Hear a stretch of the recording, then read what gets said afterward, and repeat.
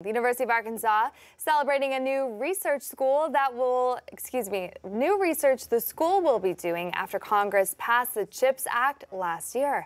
The new law is focused on ramping up computer chip production in America. Today, the U of A held a summit on ways to capitalize on it. Those who went say they hope to use what they've learned to help Arkansas become a top dog in the field of semiconductors. And that's sort of a magnet for business, but it will really help us in the area of workforce development. And so please realize this will involve not just the university itself, but also our four-year colleges and community colleges around the state. So it's an opportunity to really bring a lot of people together in, in the workforce area.